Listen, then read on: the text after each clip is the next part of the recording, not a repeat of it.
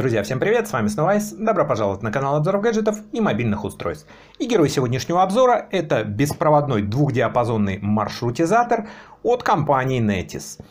Данная модель называется у нас N2 и это флагманская модель в линейке Netis.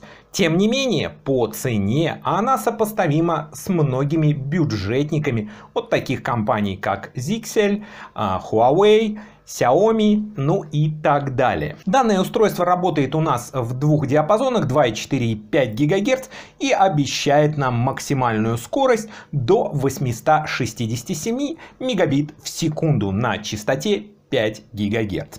В общем, вот таким вот образом все это выглядит. Э, довольно интересный роутер с четырьмя антеннами. Давайте доставать его из коробочки, смотреть, как все это дело э, выглядит. Вскрываем коробочку. Здесь нас встречает руководство пользователя и гарантийный талон.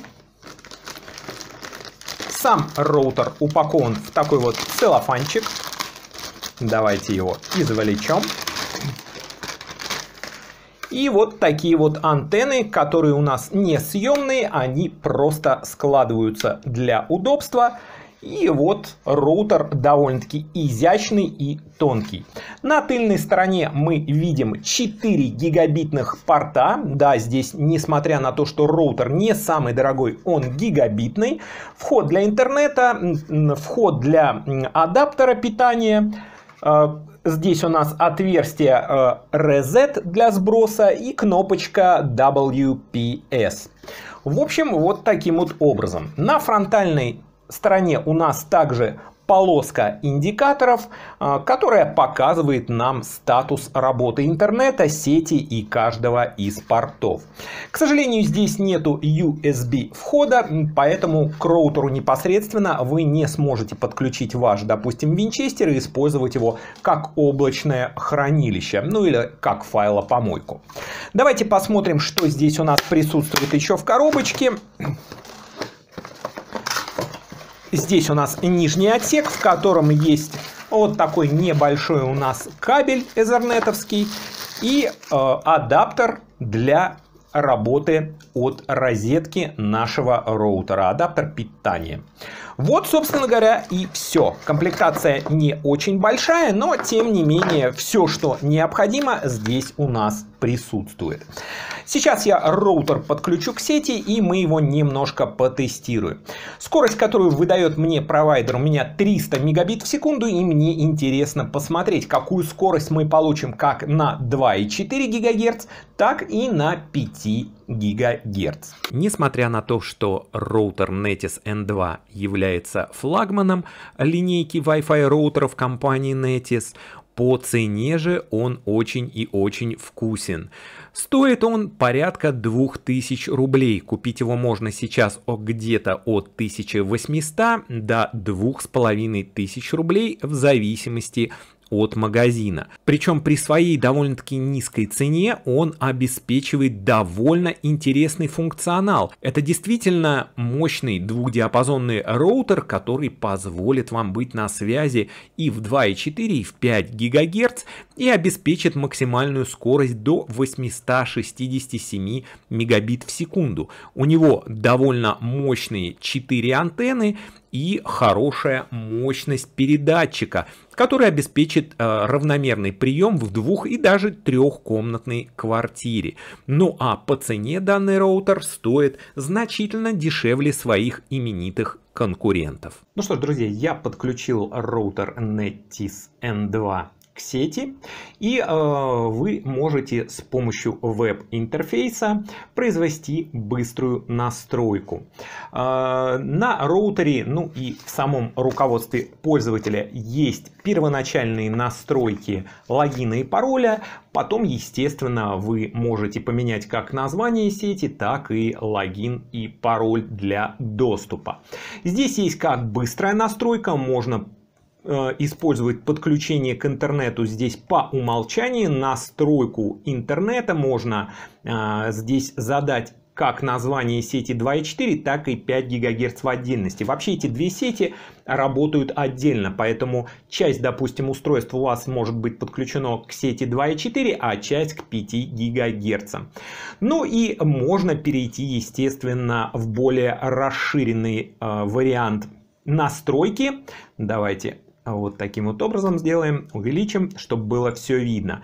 Ну и здесь традиционная веб-морда. В общем-то, все очень и очень похоже на большинство а, веб-морд э, других роутеров. Можно сменить язык, естественно, можно посмотреть сеть, настройки WAN, настройки LAN, настройки IPTV, можно включить различные режимы. Резервирование адресов есть, режим работы, если у вас э, роутер работает не в режиме роутера, а, допустим, в режиме моста.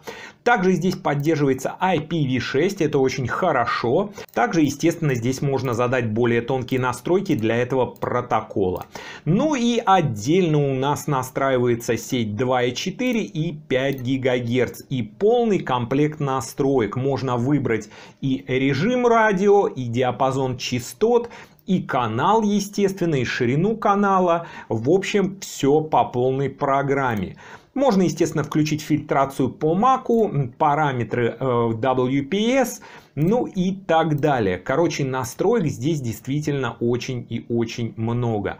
Причем отдельно, повторюсь, настраивается как 2.4 и 5 ГГц. В общем, довольно-таки тонко здесь все можно настроить и э, все достаточно понятно, достаточно просто, никаких вопросов у меня все это не возникает. Достаточно шустро работает роутер и веб-морда. Здесь у нас не так много оперативной памяти, 8 мегабайт и 128 под прошивку. Но в принципе э, это достаточно стандартный объем, можно сказать так, для недорогих роутеров.